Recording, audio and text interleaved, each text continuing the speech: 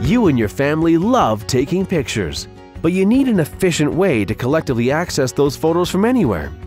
This video will show you how to set up KwiltKeys with your Netgear Nighthawk router.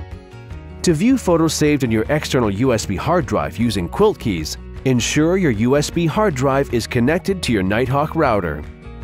If you haven't already done so, visit the App Store, install KwiltKeys on your iOS device, and complete the steps to create an account.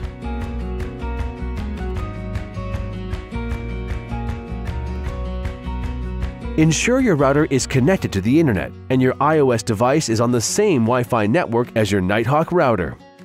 On the home screen, tap the KwiltKeys icon, then select the menu option to display the settings. Then tap Photo Streams.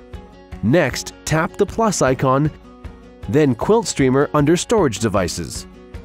Your Nighthawk router appears under Storage Devices. Tap on it and then tap the Add button. A message appears indicating that you have successfully set up KwiltKeys with your Netgear Nighthawk router. Click OK to continue. Your Nighthawk router is now available on your photo streams. Select Photo Streams, then tap your Nighthawk router from the list to display your photos. You can now view your stored photos on your external USB hard drive using KwiltKeys. You can also sort them by date or location. Post photos and videos directly to your social media accounts, such as Facebook, Instagram, and Twitter. With a single interface for all your photos and videos, you can intuitively manage everything from one central location.